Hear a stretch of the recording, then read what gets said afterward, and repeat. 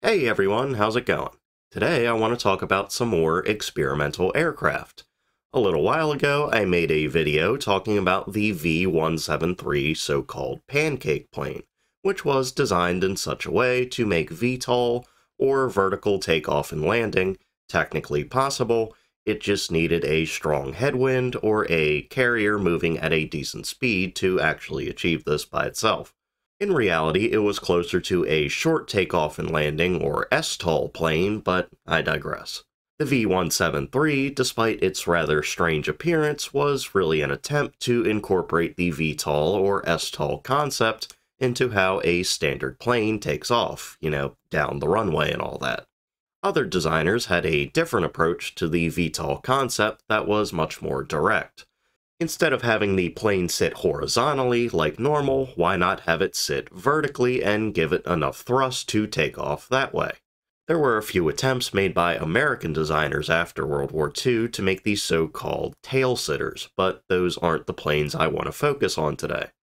Instead, I want to look at two designs from Germany at the very end of World War II, two tail-sitting plane designs that were meant to solve a very, very serious issue for Germany, two designs that ultimately never even hit the prototype stage, as the war ended before they could even progress that far. Two designs that basically only exist today in model form, and two designs that are incredibly bizarre looking. These are the Focke-Wulf Triebflügel and the Heinkel Lerche. The problem that these two planes were designed to solve was one that Germany sought to solve so much that it made several other experimental planes that actually reached some kind of production, one of which was a tail-sitting vertical launcher, but at least that one actually made it into some kind of production. The problem was that Allied bombers were just decimating Germany, with Allied forces on all sides launching seemingly endless bombing runs on Germany, they wanted some kind of plane that could very rapidly take off to intercept the incoming bombers, as more standard, typical planes were just too slow.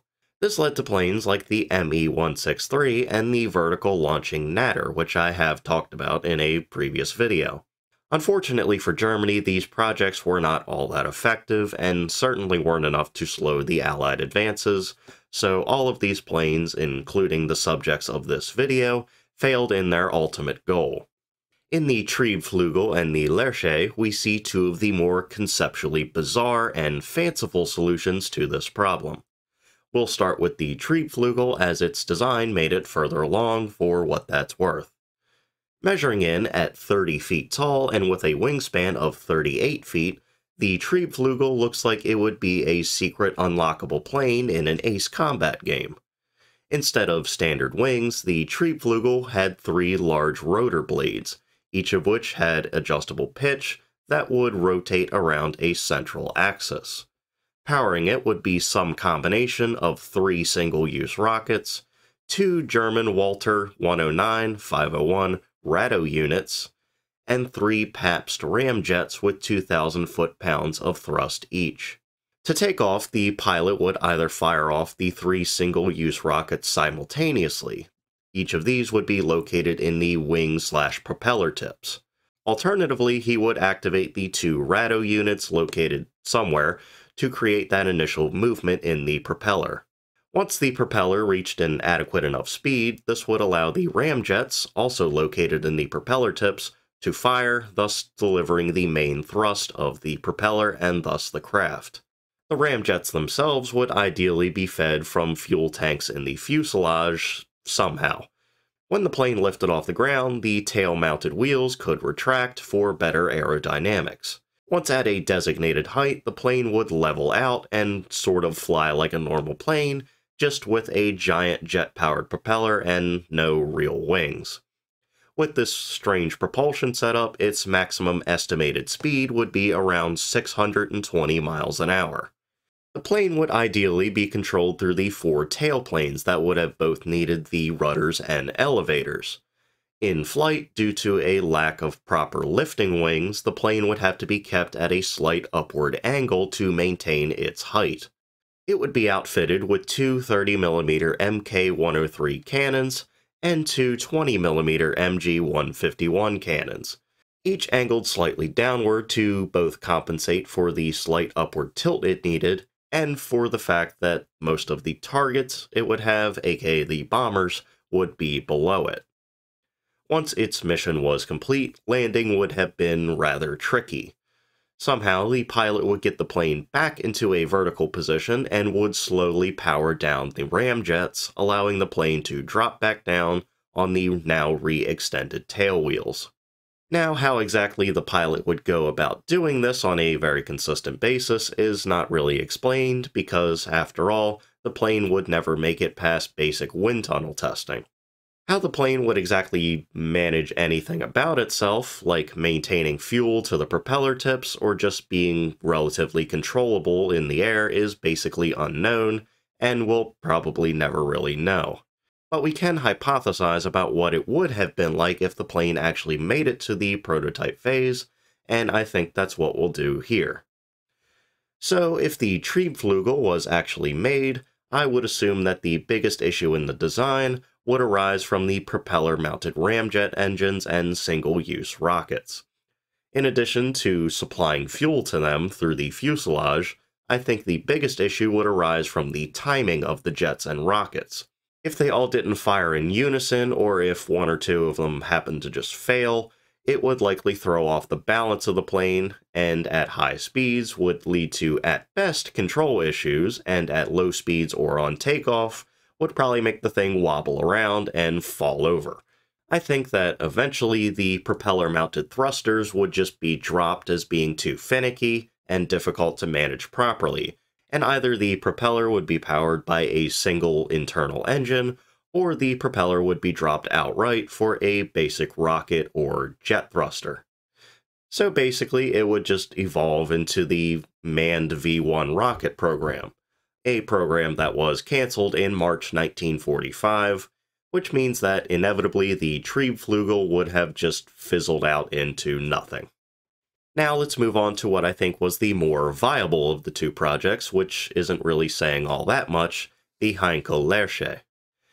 From this point forward, I will be calling it the Lark, as that's what Lerche is in English, and I think it's easier to say. And why didn't I do that with the last plane? That's because I like saying Triebflugel. So anyway, to describe it simply, the Lark looks like a missile with a donut around it measuring in at 30 feet 10 inches long and 13 feet 1 inch wide. Located inside that donut would be the main source of propulsion, two contra-rotating propellers.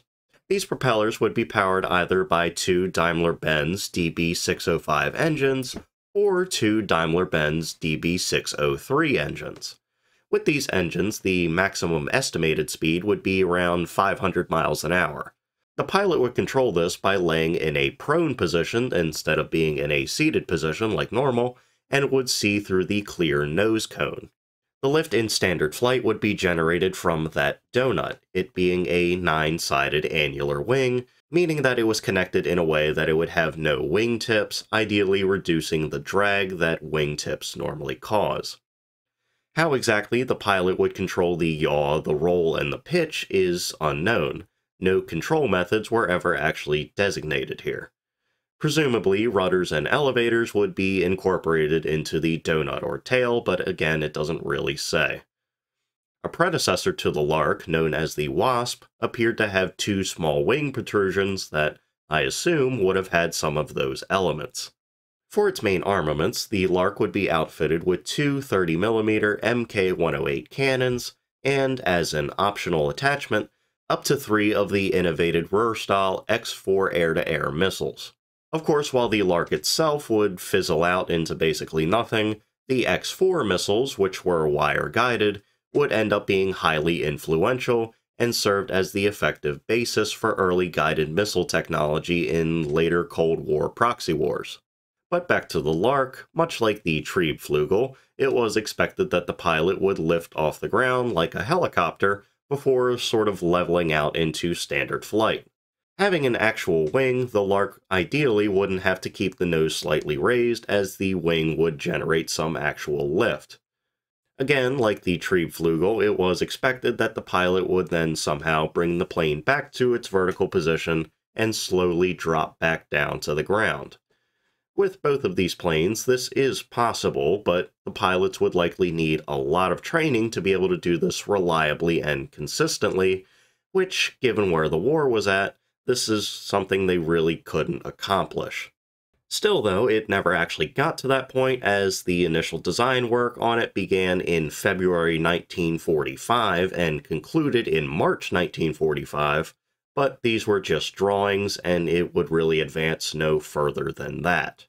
So if the Lark was actually made, what would have been the biggest obstacles? Apparently, the design itself has been reviewed in hindsight and is apparently structurally and aerodynamically sound, so that aspect was probably fine. Given that it wouldn't have the propulsion timing issues that I think the Triebflugel would have, I think the biggest issue would be the aforementioned pilot training. I think it would eventually reach the point where it would be determined that it was just too difficult and finicky to land on the tail wheels, and instead, they would just have the pilot activate a parachute or something and float back down to Earth. If they did that, though, what would really be the difference between it and things like the ME 163, the Natter, or the manned V 1 rockets?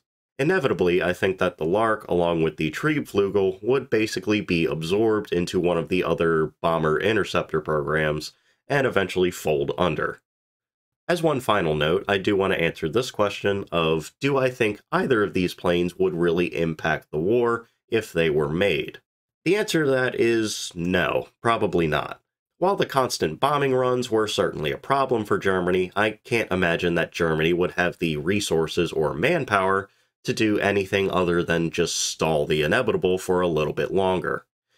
Even if they were able to somehow push out a number of these and they were actually effective, they still lack the overall resources and manpower to hold off the Russians, the British, and the United States combined. At that point, Germany was screwed, and nothing they could do would really fix that. And so, with that, we're going to go ahead and stop for today. So, thank you all for watching. Of course, remember to like, comment, and subscribe. Uh, we're back to more regular content after last week being a little sort of story time episode, I guess. And honestly, I like making these kinds of videos more anyway. The little story time videos are fun to read, but I think they are, I guess, more fun to actually just read them instead. Of course, I'll be back next week with a new video as well. Uh, I think I might make one about a gun next, but I'm not entirely sure yet. But still, be sure to tune in. I hope you like this video, and at the very least, I hope you learned something. So, see ya.